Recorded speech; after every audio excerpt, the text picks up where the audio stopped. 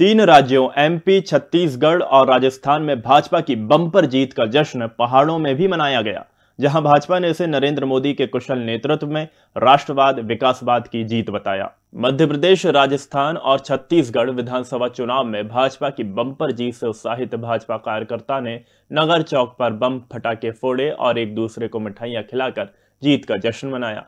डोईवाला विधायक ब्रजभूषण गैरोला ने कहा कि तीन राज्यों में भाजपा की बड़ी जीत ने साबित कर दिया कि 2024 में एक बार फिर नरेंद्र मोदी देश के प्रधानमंत्री बनेंगे। 2024 के लोकसभा चुनाव में भाजपा की जीत तय हो गई है। प्रधानमंत्री नरेंद्र मोदी के कुशल नेतृत्व में राष्ट्रवाद और विकासवाद पर जनता ने वोट दिया है। उन्होंने कहा कि कार्यकर्ताओं की मेहनत और जनता के समर्थन से तीन राज्यों में चुनाव जीत, भाजपा ने इतिहास रचते हुए विपक्षी दलों का सूपड़ा साफ़ कर दिया है।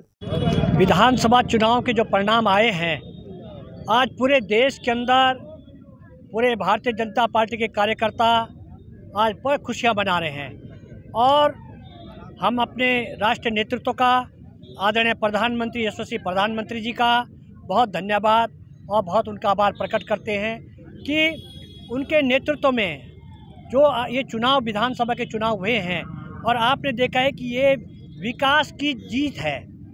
ये प्रगति की जीत है। ये सत्य की जीत है।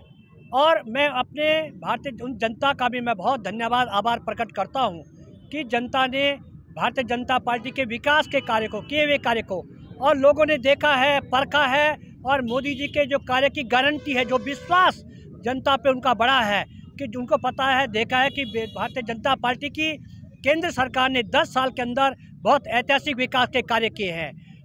अपने मध्य प्रदेश के अंदर शिवराज सिंह चौहान जी के नेतृत्व में बहुत विकास के ऐतिहासिक काम हुए हैं। जनता ने इस पर मोह लगाई है। वहीं राजस्थान में और छत्तीसगढ़ में कांग्रेस का कुशासन का राज्य था, भ्रष्टाचार था, चरम सीमा पे था। तो जनता ने राजस्थान के कुशासन को और छत्तीसगढ़ के कांग्रेस के कुशासन को पलटा। उसको और जनता को, जनता ने पुनः भारतीय जनता पार्टी की सरकार वहाँ पर आगे बढ़ाई, बनाई है। मैं अपने यशस्वी प्रधानमंत्री आदरणीय नरेंद्र मोदी जी का, अपने यशस्वी कार्यकर्ताओं का और पूरे संगठन का और जनता का बहुत आभार प्रकट करता हूँ कि उन्होंने देखा है कि भारतीय जनता पार्टी की जहाँ जहाँ सरकारें रही हैं, वहाँ विकास के ऐतिहासिक काम हुए हैं। और ईमानदारी से सुशासन, जो हमने कहा है कि जो लंबे समय से विकास के कार्य ठप हो गए थे, वहाँ पर सरकार ने अच्छे काम किए हैं। हमारे सामने उदाहरण मध्य प्रदेश है। हमसे जब छत्तीसगढ़ में, पहले इससे पूर्व में जब हमारी छत्तीसगढ़ में भारतीय जनता पार्टी की सरकार होती थी, राजस्थान में वसुंधरा राजे की, जी की सरकार होती थी तो उन्होंने ईमानदारी से काम किया अच्छा काम किया था। लेकिन अभी जो कांग्रेस का जो वहाँ पर छत्तीसगढ़ में आपने देखा बघेल की सरकार थी अपना राजस्थान में अपने गहलोत की सरकार थी वहाँ पर उसमें भ्रष्टाचार चरम सीमा पे था जनता ने भ्रष्टाचार को उखाड़ करके फेंका और सुशासन का राज्य भारतीय जनता पार्टी की सरकार वहाँ पर बनाई है।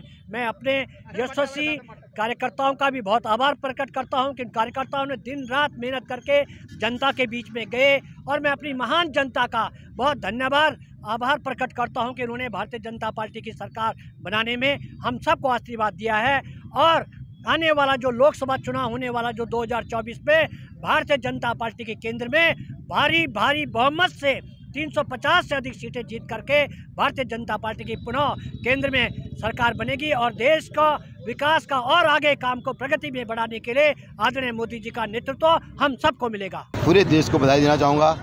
आदरणीय नरेंद्र मोदी जी के नेतृत्व में जिस प्रकार से भारी बहुमत से मध्य प्रदेश, राजस्थान और छत्तीसगढ़ में भारतीय जनता पार्टी की ऐतिहासिक जीत हुई है, निश्चित रूप से भारतीय जनता पार्टी के और लोगों का विश्वास बढ़ा है। जिस प्रकार से कांग्रेस के लोगों ने सनातन धर्म को, हिंदू धर्म को गालियाँ दी उन्हें सनातन धर्म हिंदू धर्म को गालियाँ देगा बल्कि पूरे हिंदुस्तान को गालियाँ दी। हिंदुओं का हिंदुस्तान है और भारतीय जनता पार्टी ने कई कार्यक्रमों ने ये साबित कर दिया है कि किस प्रकार से अगर कोई हिंदू को बदनाम करेगा, हिंदू को गाले देगा तो उसका मुँह तोड़ जवाब दिया जाएगा। इसी प्रकार से राजस्थान, मध्य प्रदेश, छत्तीसगढ़ में भारी बहुमत से भारतीय जनता पार्टी सरकार बनी है। मैं पूरे देशवासियों को, पूरे भाजपा कार्यकर्ताओं को बहुत बहुत बधाई और साधुवाद देना चाहता हूँ।